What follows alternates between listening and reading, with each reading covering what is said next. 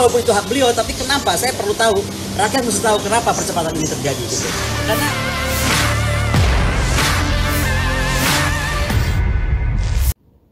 Baru sepekan dilantik sebagai Kepala Staf Angkatan Darat, Jenderal Agus Subianto tiba-tiba ditunjuk menggantikan posisi Panglima TNI Laksamana Yuda Margono oleh Presiden Jokowi. Tindakan buru-buru Presiden Jokowi itu pun mendapat sorotan dari pengamat militer dan pertahanan Koni Rahad Kundini Bakri. Koni merasa heran kenapa Jokowi harus begitu cepat memutuskan sosok pengganti Panglima TNI Yudo Margono Padahal diketahui Yudo baru akan pensiun pada akhir November ini. Meski Koni mengungkap keputusan soal penggantian Panglima merupakan hak prerogatif Presiden, namun tetap saja ia menilai terlalu aneh mengambil langkah tersebut. Koni bahkan sampai menyinggung soal people power yang kemungkinan bisa terjadi dengan kebijakan Presiden Jokowi yang saat ini dinilai sudah terlalu jauh cawe-cawe kita kita bisa bergerak kayak gitu gitu lah uh, jadi bisa sangat sangat terutama bagi Indonesia apakah kita mengejar kepentingan Indonesia kita untuk selatan yang bisa bergerak kita itu semua dengan Pak, Pak Yudo malah uh, dikrek kemarin 51 uh, atas saya ini itu menjadi dikrek yang menurut saya sangat keren karena menghasilkan sebuah uh, final paper bagaimana merubah pertahanan kita menjadi angkatan perang lagi seperti di era Bung. Nah, dari semua yang disampaikan oleh Pak Yudo Magoro dari termasuk legacy ini buat saya aneh. Kenapa mesti dipercepat? With all due ya, saya sangat menghargai kalau memang Pak Agus harus jadi panglima. Ada apa kita nggak punya keberatan apa pun. Tapi kenapa harus cepat-cepat Presiden melakukan ini? Ini menjadi pertanyaan saya yang kedua kepada Presiden Joko Widodo. Jadi pertama, apakah uh, presiden ini cawe-cawenya sampai sekian jauh gitu loh. Saya nggak ngerti juga ya, karena walaupun itu hak beliau, tapi kenapa? Saya perlu tahu. Rakyat mesti tahu kenapa percepatan ini terjadi gitu.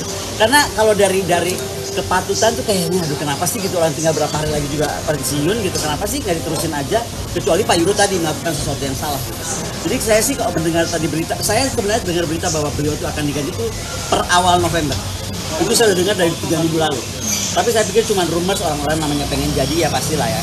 Tapi ternyata ini kejadian dan lebih tepat daripada awal November jadi buat saya, saya pertanyakan juga kepada Pak Jokowi, Pak Jokowi Widodo. Makanya gini Pak Presiden, uh, kita supaya hirup pikuk ini uh, berhenti, supaya people power yang saya khawatirkan nggak terjadi, mendingan Pak Presiden mundurin diri deh. Jadi enak gitu loh. Jadi kita juga nggak nggak punya seuzon. Nah, benar nggak? Saya ini rakyat ya, kan jadi saya uzon terus nih. Ini bantuin bantuin si Kaisang sampai ke mana nih? Bapak bantuin Gibran sampai ke mana nih gitu kan? Udahlah biar biar nggak ada kayak begitu-begitu lagi dan Bapak juga nggak usah pusing makan siang lagi, makan siang lagi, makan siang lagi gitu kan? Udah Pak mundurkan diri aja, jadi enak. Bapak juga mulus, tenang kan? Kemudian juga Kaisang udah silakan juga maju kita nggak usah pikir yang aneh-aneh. Gibran. Eh sorry uh, Gibran. Mungkin saya pengennya Kaisang aja kalian jadi presiden. uh, terus yang apa? Uh, Soal sosok nah, Pak Agus sendiri nah, apakah Agus punya kedekatan nih uh, dengan uh, Pak Jokowi, Pak Jokowi tersendiri nah, juga. soal people power tadi terus juga kekuasaan ini kan isu yang bergulir terus. Uh. Nah, apakah Mbak uh, Koni ini melihat bahwa ada indikasi atau uh, ancaman itu gitu ketika Pak Saya melihatnya gini ya, bagaimanapun tentara itu manusia yang disempurnakan apalagi mencapai tunjang seorang panglima dan calon panglima. Saya masih percaya bahwa Pak Agus itu bisa netral.